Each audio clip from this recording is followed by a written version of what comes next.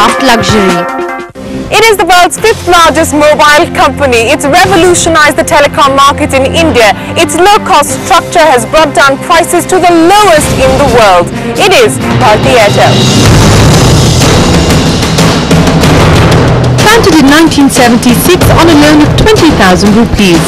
Bharti has transformed from a bicycle parts manufacturer to a conglomerate with a presence in telecom, financial services, retail and foods. Bharti's business projects have been transformational and it's partnered with big global firms like Singtel and Walmart while at it. Today the group has a presence in 21 countries and a market capitalization of $25 billion.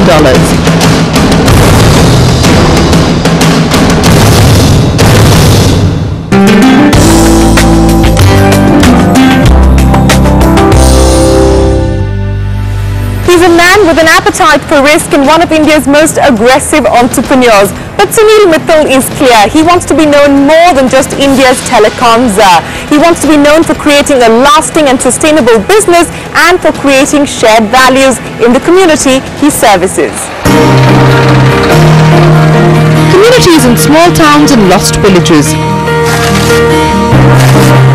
Communities that probably have access to mobile telephony but not the essentials. The Bharti Foundation was set up a decade ago to bridge this gap.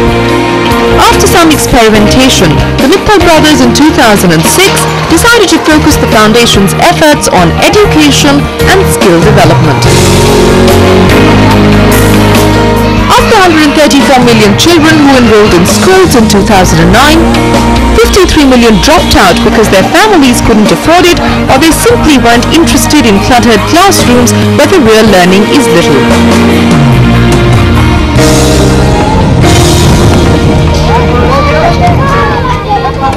But in Chaugavan village near Amritsar, Kamal is walking into a different school and into a different classroom. One that is bright and friendly. One in which learning is interactive and creative. Kamal is just one of the 30,000 children who are part of the Satya Bharti school movement. A movement that is consciously focused on bringing the girl child and children from the socially backward classes into its fold.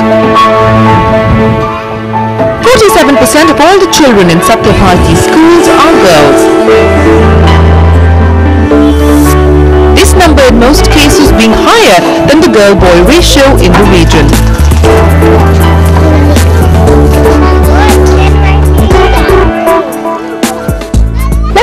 By asking, you're a first generation entrepreneur. While philanthropy has been part of large, old, traditional Indian business families, for a first generation entrepreneur to think of setting up a foundation almost a decade ago was a surprising move. Why did you think about setting up the Bharti Foundation?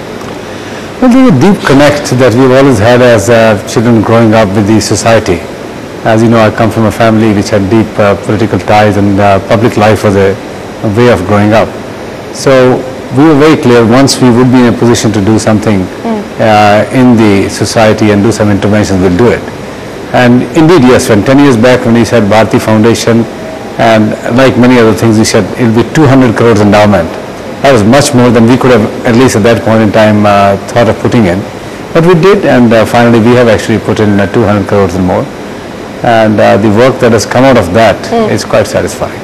How essential is it for business leaders at this point in time, especially given the fact that we have these wide differences that exist in Indian society, to actually be able to think about things like this, to think about financial inclusion, to think about education, healthcare? How critical is it for Indian businesses to strategize on these fronts at this point in time? I think I'll quote uh, uh, from the Prime Minister's speech in 2007, where he said that the vulgar display Yeah. of the wealth hurts the sensibilities of this poor nation. And I really agree with that position. Uh, as we create wealth, or any business uh, house that creates wealth, they have a responsibility not only not to display uh, their wealth in a, fashion which is uh, hurting the sentiments, but more importantly, start contributing in a very big way. You spoke about the old business houses, and I, my view is uh, Tatas and Birlas, Yeah. uh, Tatas uh, continue to do it in a very big way even Right. now, uh, and the new generation entrepreneurs have started to do this in a big way. So you saw Infosys, Yeah. Bharti is doing it, Wipro is doing it. HCL is doing In it. In between, we didn't see much happening. Now, people ask, why is India not, uh, uh, you know, India Incorporated not doing enough? Uh, I have really uh, very clear uh, proposition for that. One, I think, is newfound wealth. Yeah. People are still not very comfortable uh, under their skin that this is here to stay, they'll be okay. So they are little scared. of- Amass as much as you can for yourself. I think so. You know, when you come from, uh, you know, poverty uh, uh, struck background, you tend to eat more. Yeah. And similarly, uh, when you have come from, you know, difficult situation, you don't have the comfort of parting with your wealth. So it's the legacy of insecurity that's not really, or that's constraining you from sharing your wealth with everybody else. Correct. And as you get more comfortable, you will start seeing more and more companies joining this bandwagon. The other part I think uh, that holds Indians back from doing what many in the Western world do is leaving all the money for the children. So people here will, you know, um, uh, cut down a meal for themselves but ensure that the children are taken care of. Most wealth is left for the next generation. Whereas in the US at 18 or 20, small amounts of money are carved for the children and most of the money then goes into building libraries, hospitals, universities and if you see Carnegie Endowment, Yeah. if you see uh, Brookings, everything has come from endowments, you know. That is not I- Is that the way forward for you as well? I'm inspired by those. I mean, I'm inspired by the stories of Rockefeller, Carnegie. Hmm. As you know, I sit on the Carnegie Endowment Board in Washington. Hmm. And it's incredible how they left most of the, of the wealth hmm. for public causes. And I think that has to happen here. So if you ask me, what is Bharti Foundation's vision? To be one day known like a Carnegie Endowment or a Ford Foundation or a Rockefeller Foundation and we have started I think well. Hopefully we will end well as well. The Bharti Foundation since 2006 has set up 236 schools in five states.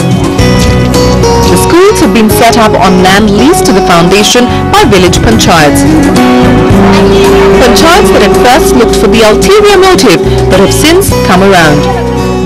बहुत अच्छा school है बच्चों बड़ी पढ़ाई है बहुत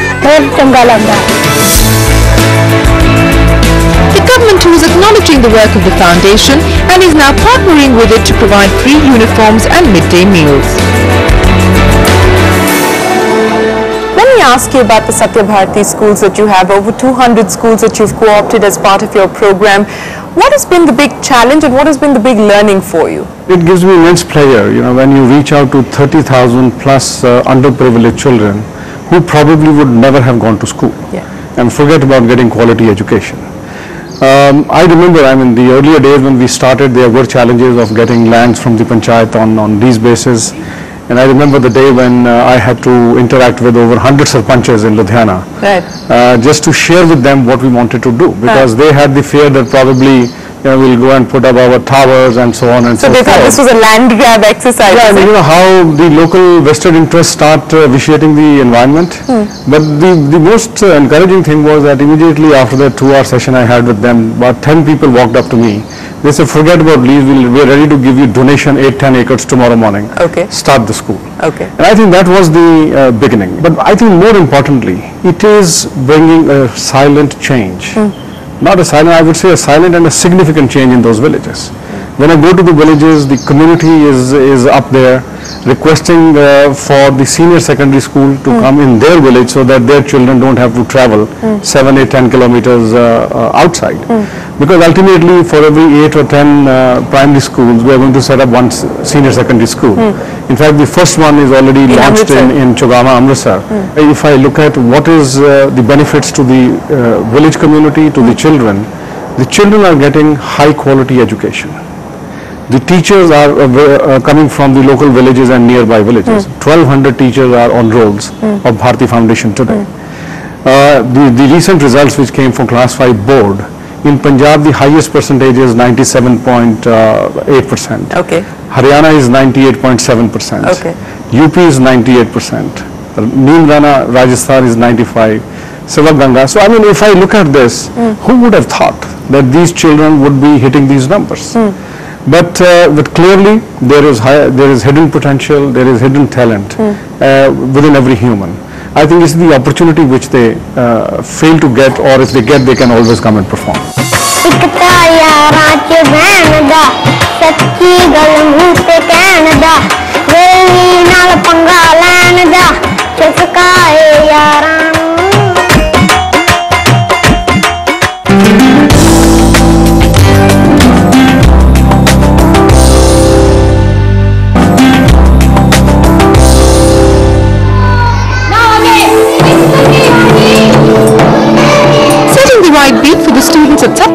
Is the teacher, specially trained to make sure the classrooms are interactive and fun. For every 26 students, there's one teacher. This is well above the government school average of 40 is to 1. Teachers are continuously put through training and feedback, but every class has its challenges. we are actually investing a lot in the teacher in terms of training, in terms of giving them experience, in terms of getting them aligned to the program and our philosophy. And year two onwards, actually the payback for the program starts. But the bright ones, obviously, when they get greater opportunities and they've learnt here, they go away, and you know, uh, it's it's sad to lose them. And uh, so, constantly we need to work on, you know, keeping them connected with our vision, with our mission, with what they are contributing back to society. The challenges, Vijay Chadda, the CEO of Foundation, along with his 100-member team, engage with the community to ensure the foundation's activities become part of their daily life. There are over 100 people now in the foundation, so it's a proper office, proper people. And uh, the outcome of that is uh, 30,000 children studying in wonderful schools. You have a code of conduct that uh, exists not just for the Bharti Foundation but also for Bharti Enterprises in that sense. How does how do you make the connect between what Bharti Enterprises does and what the Bharti Foundation does? Code of conduct is of course for our own business uh, uh, piece where everybody, including me, we sign at the end of the year any gift that I've received, a phone or anything else, Yeah. or if uh, foreign travel being sponsored by anyone. Yes. So all these things are given out, and this every employee must sign it, and that's why I think we've been able to keep our, our company clean, uh, high credibility, uh, but that also then flows into uh, the foundation in a sense that everybody is committing to putting some resources into foundation, whether it's one day's salary, one day of time given to foundation. So there is a, in that sense, when a company is pristine and clean and also has the will to serve the society in a very credible way, Was that the decision to actually start the Bharti Foundation and not carry out all of these initiatives through Bharti Enterprises, for instance? I think we thought foundation uh, needs to attract the people who are having the mentality of serving the society. So typically those people who are working in NGOs or comfortable, people in Bharti Enterprises at the end of the day, uh, if there's a conflict between their work and foundation, they will end, end up, you know, Yeah. executing their work. Yeah. So you had to carve out something where the mindset had to be different. You know what, the foundation is actually looking after your philanthropic interests in that sense. As a brand, and all of your businesses have credible front-end brands in that sense, it is important for the customer to respect the brand, for the customer to actually be able to connect. So in that sense, don't these values then translate into the way that you actually execute and go about strategizing for your core businesses? But in our case, if you look at it, we are deep in villages where we are not truly selling too many of our products other than mobile telephony which is available everywhere. It is with the sense that go to villages which have no schools or very few schools Right. and provide free education, computers, uniform, books, midday meal. And we are not really trying to leverage that work uh, to say, oh, Airtel has uh, developed a very strong aura around it. We are doing it because the heart is there. After consolidating their presence in primary education, Bharti Foundation is now looking to scale up. This is the Bharti Foundation's first senior secondary school. Inaugurated three months back, this Adarsh school in Chogavan works on the public-private partnership model with the Punjab government. Unlike its primary schools where the entire capital cost is borne by the foundation, for its secondary schools, Satya Bharti has split the cost with the government but runs the schools on its terms. Affiliated to the CBSE board, this school places emphasis on English learning to make the children part of the mainstream. Different background से जैसे government school से भी बच्चे आए government school से जो बच्चे आए हैं, उनका इंग्लिश का जो लेवल है, वो बहुत लो है। बच्चों ने अभी सीखना शुरू नहीं किया है। तो बेसिकली हमारा जो मेन जैसे मैथ्स बच्चे कर लेते हैं, पंजाबी बच्चे कर लेते हैं बट इंग्लिश में वो पीछे रह जाते हैं। और हमारा जो सारा सिलेबस है, वो इंग्लिश बेस्ड ही है। तो उसके लिए हम लोगों ने रेमिडियल शुरू किया है बिल्कुल ज़ीरो लेवल से शुरू किया है ताकि बच्चे जो हैं वो आहिस्ता आहिस्ता बच्चे पिक कर रहे हैं। Of the foundation is to help underprivileged children realize their potential.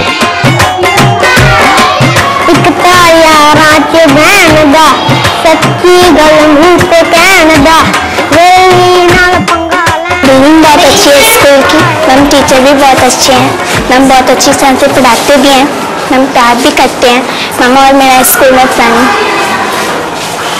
Ma'am ma'am वो मेरी फ्रेंड है। मैम हम पढ़ने में भी कॉन्फिडेंस रखते हैं। Foundation plans to open 25 such other schools over the next three years.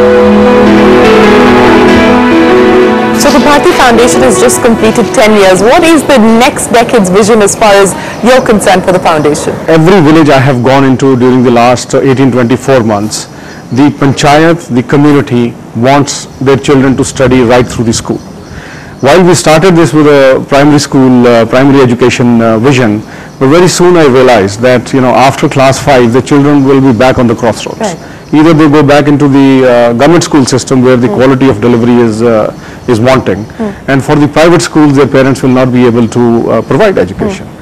Uh, and not only that, I mean, if you see these 30,000 children are being provided uniform, books, sports, a midday meal, and we don't charge a rupee. But more importantly, the sarpanches are now asking the government teachers, and they are holding them accountable. Why don't they come on time? Yeah. Why don't they teach their children? Yeah. And why is uh, uh, education not being uh, delivered in the way it should be?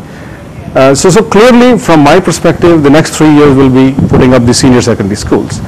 And once these are up, every school will be a vocational training center. We will provide vocational training in class 11 and 12, so that every child becomes employable. Employable. And uh, now I am going back to the government. And they said that you are teaching our children free of cost. What can we do for you? I said, well, the, the the least you can do is provide books, provide uniforms and a midday meal which you provide for the government school children. And I'm not charging anything, I'm providing free education.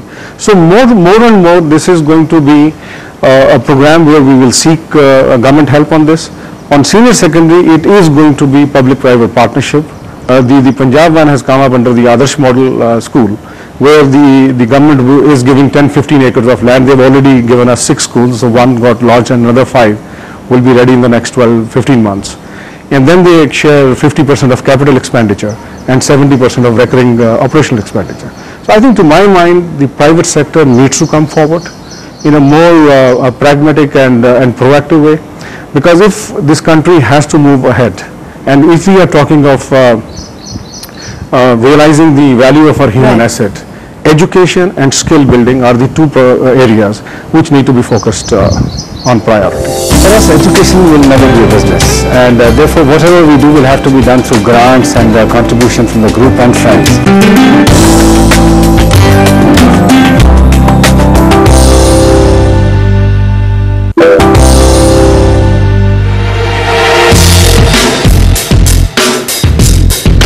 Having built their business and by default the industry, Bharti found it paucity of trained telecom engineers, young minds with ideas and innovations to take the telecom business forward. To bridge this gap, the Bharti School of Telecommunication Technology and Management was set up in partnership with IIT Delhi and IIT Bombay. Over the last 10 years, thousands of young men and women have studied in these high-tech wireless labs, picking up master's degrees and PhDs. What can we expect? You've already completed a decade. What can we expect in the next decade? Because you've got about 230 odd primary schools that you are currently looking after, mostly in north of India, in Punjab. Where do you actually see your education initiatives going forward? Uh, we will get to 100,000 uh, children under cover of these educational programs in the next 36 months. We are at 30,000, it's fast growing now.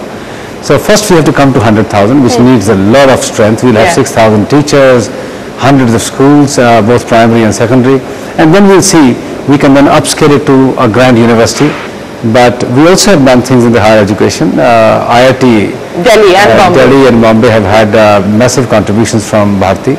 In fact, Delhi's IIT, uh, Bharti School of Telecom Technology is very well regarded now. Uh, we have uh, endowed a very big institute in Mohali for That's the the public Indian policy, Business, Indian yeah. School of Business. On the public policy, India doesn't have a big institute in public policy. Yeah. So that will be coming up hopefully in the next two years. But what has been the big challenge really, uh, especially you know when you're talking about dealing with education in the primary sector, uh, because the government regulates education and you've tried to partner with the government in most instances. What's been the big challenge there?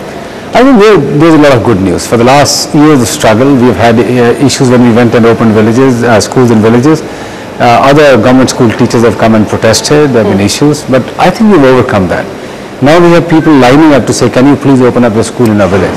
Then we have That's because they realize the quality of education is a lot better. absolutely, much better, facilities are much better, and commitment is there. And now we have a minister in uh, Kapil Sibal who is very progressive. He wants to have massive changes in the area of education, combined with the Prime Minister's vision in the area of education. I think we are on the threshold of major breakthroughs in the laws of this country around education. So could we possibly see a Bharti University being set up anytime soon and now you can also bring in foreign partners and collaborate with them? For us, education will never be a business, and uh, therefore, whatever we do will have to be done through grants and uh, contribution from the group and friends. And I don't know whether foreign universities will want to come in for the philanthropy part of it. Yeah.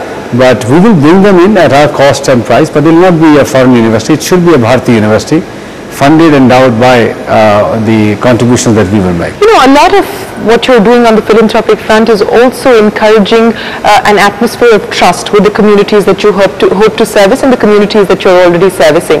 As you go global at this point in time, you've already gone into Africa. Will this be a big part of your strategy there as well? Oh yeah, absolutely. Africa actually uh, has a very well, uh, you know, conceived program around philanthropy. In some sense, better than India. Why would you say that? I think most of the MNCs that have gone there have uh, created an environment of contribution through digging of wells, water supply, water And of course, a very, very strict policy on affirmative action. and as well that. Uh, but you know these MNCs are quite used to doing a lot of uh, contribution to society in their own home countries. It becomes a part and parcel of what they do. For us, this will come natural, and we have again said let's do just the same education, unless we are you know uh, compelled into doing something else in a sense that if somebody else says you need to do this for us, we'll do it. But education again for poor children in Africa will become, and Bharti Foundation as a bedrock uh, can easily then replicate itself for African uh, projects over a period of time. Next week on The Heart of Business, we look at how Bharti's new businesses are looking to create value for the community.